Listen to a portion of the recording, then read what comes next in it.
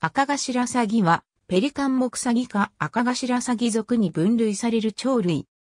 インドネシア、カンボジア、タイ、中華人民共和国南東部、台湾、日本、ベトナム、マレーシア、ミャンマー東部、ラオスカキに中華人民共和国中東部で繁殖し、冬季になると東南アジアへ南下し越冬する。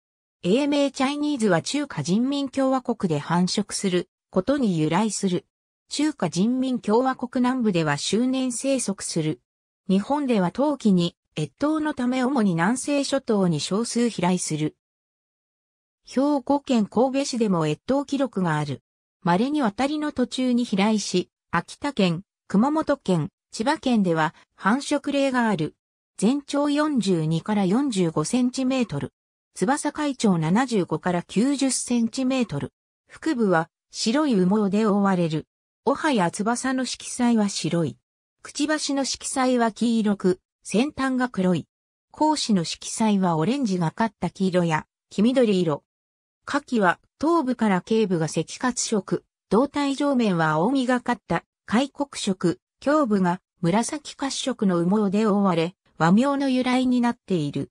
陶器は、下記は頭部から頸部、胸部、胴体上面が黒褐色の羽毛で覆われ、泡褐色の縦縞が入る。